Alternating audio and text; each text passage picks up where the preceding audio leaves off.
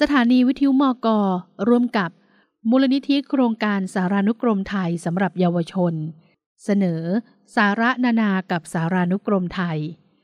วันนี้เสนอตอน เรือขุด สาระนานากับสารานุกรมไทย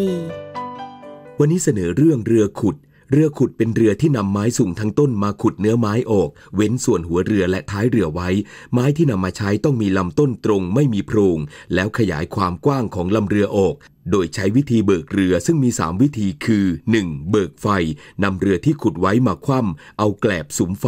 ใช้ไม้ทางปากเรือค้ำไว้ ทิ้งไว้ให้เย็นทำซ้ำหลายครั้งเพื่อเพิ่มความยาว 2. เบิกน้ำเป็นการใส่น้ำลงในท้องเรือที่ขุดแล้ว ทิ้งไว้จนเนื้อไม้อ่อนตัวลง ใช้ไม้ทางปากเรือออก ทำซ้ำหลายครั้งจนได้ความกว้างตามต้องการ และ 3. เบิกปากขวาน เป็นการใช้ขวานและพึงซึ่งมีลักษณะคล้ายจอบ ฟันเนื้อไม้ออก เสริมกงด้านในท้องเรือ เพื่อความแข็งแรงทาน้ำมันยางเพื่อรักษาเนื้อไม้ให้ทนทาน ท่านที่สนใจสาระนานาเพิ่มเติมในสารานุกรมไทยสำหรับเยาวชน สามารถเรียนรู้ได้ที่ www.